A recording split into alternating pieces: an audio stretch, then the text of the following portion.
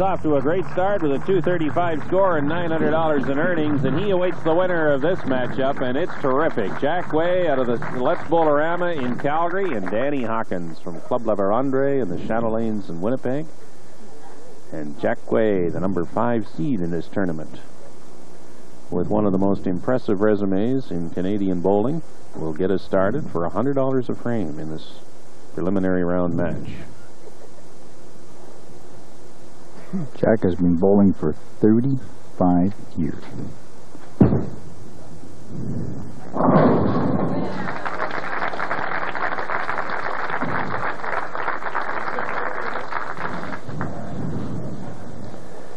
And now Danny Hawkins with a high game of 287.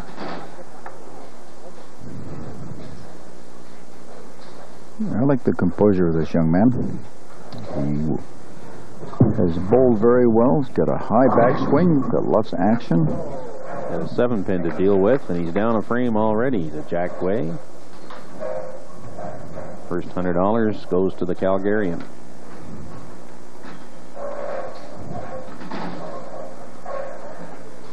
Hawkins is very strong.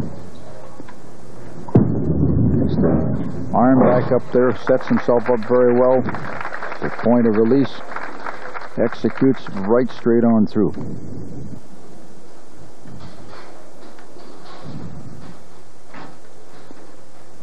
Switching equipment, he's got himself a red bowling ball that he's trying here. This ball will hook more. You notice that he's turning it under. Not quite as much as Howard Kochi, but right here is where he gets it. The revolution's going. And he's going to make it. You bet. That pin came right all the way across from one side to the other and carries it up. As long as the machine doesn't touch it, it's okay. Watch what happens. Comes in there with full power. Watch the pin from the right-hand side. The six pin went into the channel, came out, came back on over, and hit the pin on the left there for him. What a break.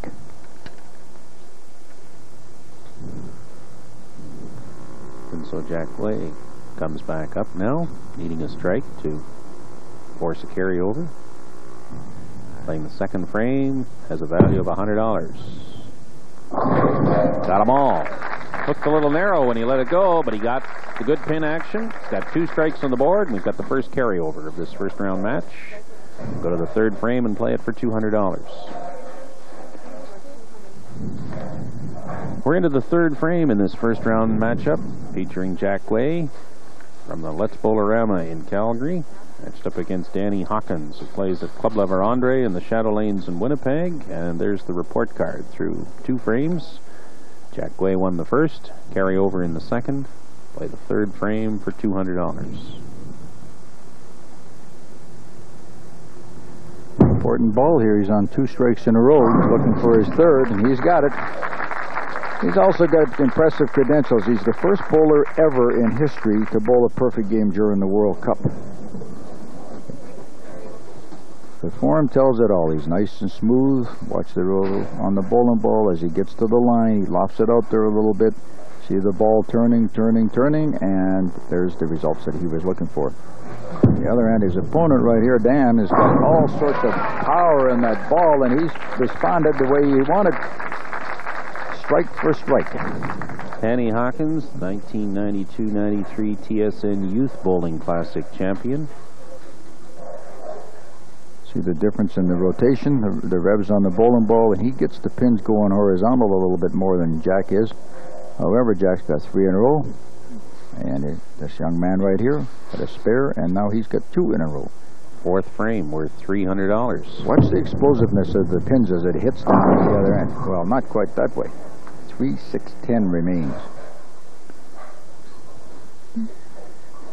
He, these two met in the first round of last year's series. And Danny Hawkins won that match seven frames to three. And then Danny went to the quarterfinals and lost to Howard Kochi, the eventual champion. Spare on the board in the fourth for Dan Hawkins. You were talking about Jack Guay and the two perfect games at the World Cup. Put that into perspective. That's the best in the world showed up First in uh, Sao Paulo, and then uh, actually the first one was in '94 in Mexico when he bowled his first perfect game. But that's the best competition in this sport in the world that he was competing with there. Well, it's recognized as the top amateur because it gets select bowlers from every country. And Guay is showing why. He gets into a rhythm and uh, lined up, and he's so loose with his game and so confident with his game right now that he he doesn't have to worry about margins of error. He just gets up there and challenges the pin. See him in there? He's strong. Works at a uh, plant manager in quality meats in Calgary, and he'll uh, turn around and he works hard. He uses his hands every day bowling about 20 games a week, carrying a very respectable average back home. He knows what to do with it. Well, he's got four in a row. And he's got four frames in a row. That last strike worth $300.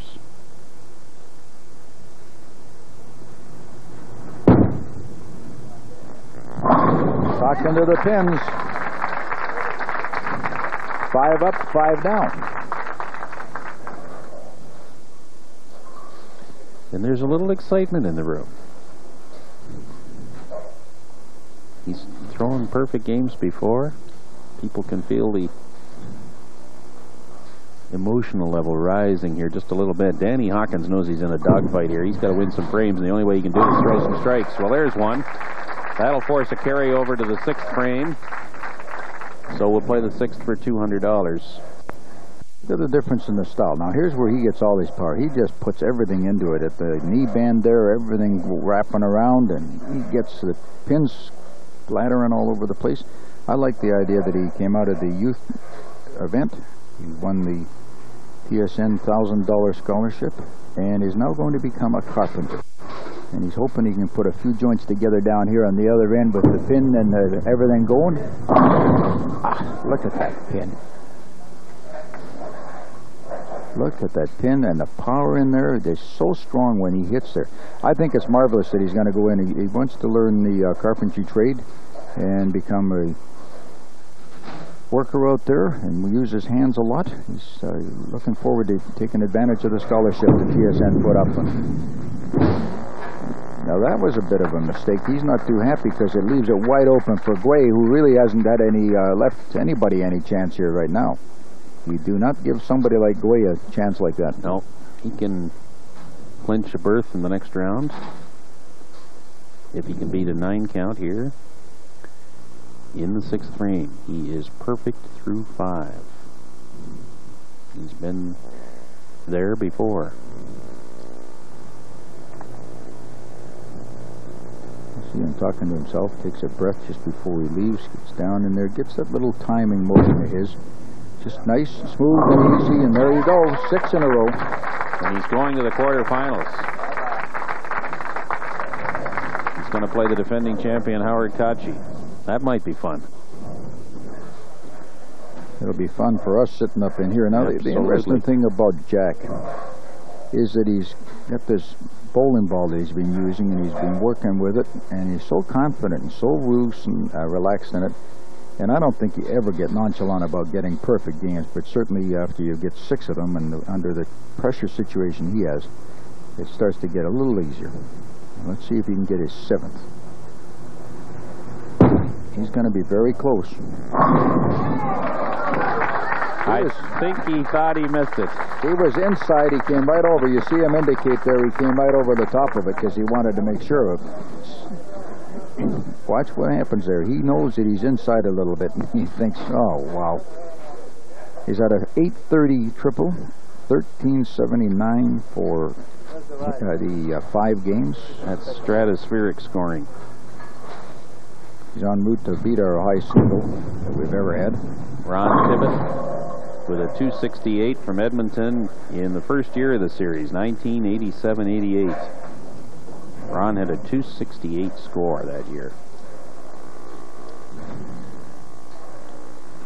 Danny Hawkins just smiles and says, well, this isn't quite my day, and I haven't been all that bad, but Jack's on a tear. And now we've got two nine counts by Dan in the sixth and seventh frames. He's lost the seventh as well. Jack so far has been perfect. He's won all the money. Well, you get to a point in a game like this where you know your opponent's got you, you know, by the juggler, and you're just going to go through the motion and get out of the road and hopefully see him carry right on because he knows he's got it. And he's beat in this game. So Jack just sitting back there, swinging his hand, trying to stay loose with it. Not too happy with his last shot. This young man has got a great future. Oh, that's seven pin. now that is sheer power. In The game. The game today is power and uh, power shots with a lot of these young people. And watch this. He executes everything perfect and just blows the rack here, and everything goes over. You see that pin, it, instead of hitting the seven pin on the left side, it ended up way over on the right-hand side. These youngsters will bowl about five, six strikes in a row, I say, and then they'll miss about three singles there. and the big cheer is for his pair after two nine counts and six and seven. So, Jack Guay, if you just joined us, perfect through seven. I'll tell you one thing: if he gets the next one, it'll be tough. Because the eighth one, the ninth one, and then he's he is locked in. But it, as long as he can get through this one right here, because he's wasn't too happy. He topped the bowling ball a little bit. Let's see if he stays behind it enough and reaches to it. He's going to be close. You betcha. Eight consecutive strikes. A marvelous tribute to the talent of this man, and thanks to Hiram Walker, TSN, and the bowling proprietors, we're seeing a potential superb game here. What a Eight winning frames, combination. Eight hundred dollars. Eight strikes. And Jack is standing there yapping, and when he gets talking, that's when you got yourself, you know he's locked in, because when he's thinking about it, he doesn't talk too much. When he gets going into his game, he gets going, tells everybody about it. Now, this is his ninth strike he's going for. He's going to be close. You betcha. We have our first nine in a row. This young man is just going to go through the motions. We'll have to find out what the uh, award will be here because it could very well happen. He is so locked in right now. Now here's a young man. Well, for a hole in, for a hole in one, a golfer has to buy a round. Now, is there an equivalent for a? Well, we'll just reestablish Well, that we rule. can- we can do that. We could do our rule. We're, we're on air. We can do whatever we want. now, here's a man that has done everything right but hasn't got any results. Catherine Plummer, Daddy's girlfriend, she's kind of caught up in the moment as well. Just says, hey, he hasn't done that in five years. This is one of those days. Four, nine up here. And all, like I said, he's trying to do is go through the motions, get out of the road. He knows he's beat. You just want to see your opponent do everything, do it right. Zach is pretty loose with his game right now. He's either going to get the perfect game or he's going to hang a single pin up here. Nine in a row. And they've been good hits. In fact, on the last ball, Jack was making a comment as he released it. Oh, I like that. Now, can he keep his head into the game?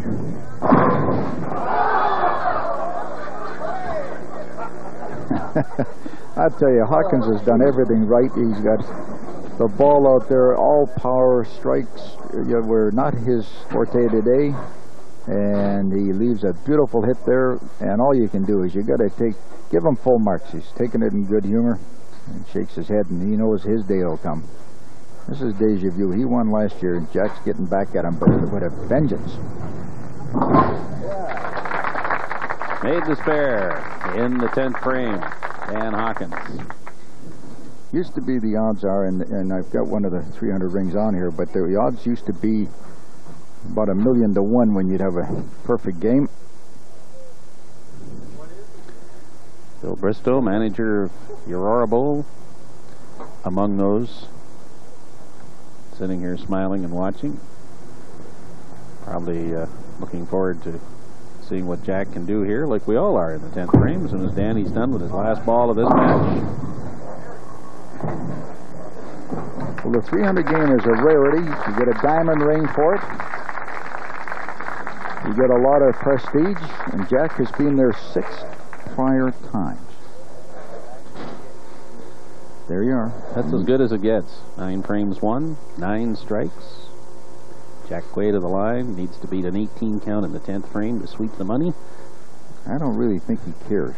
I don't think he does either. What he's trying to do is get his head into it. He's trying to set it up for himself. He might care about the money when he hears about our rule, though. Well, let's see what happens here. He's going for his seventh perfect game. First of all, a rarity to ever see one, and to get it on television would be something else. He's got the first 10 in a row.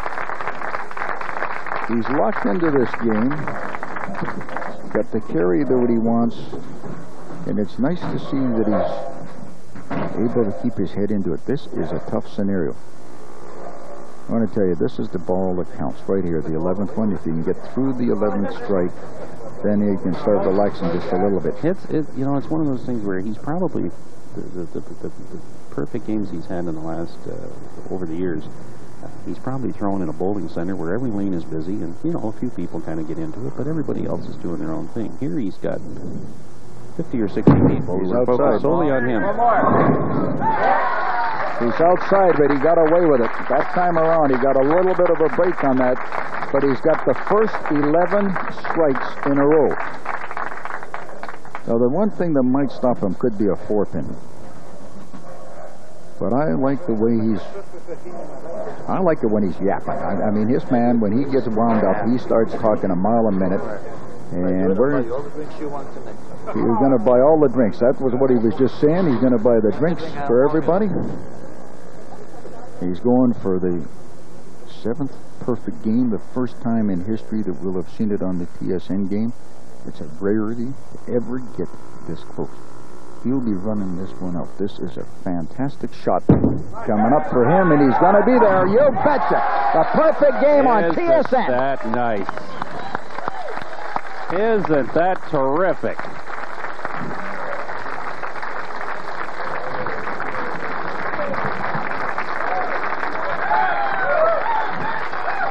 A standing ovation, and rightfully so, to be able to watch that on television and have it on tape. There's a keeper, folks. Seventh perfect game. What an accomplishment. And to do it as comfortable and to know that this is the ball that does it right here. Watch how relaxed it is all the way through. Ball going in there. You got a bit of a break on the 11th, but this one is all the way through. Bang. 12 in a row. A perfect game, the first on TSN. And we got a quarterfinal coming up against Howard Kachi. We'll be back.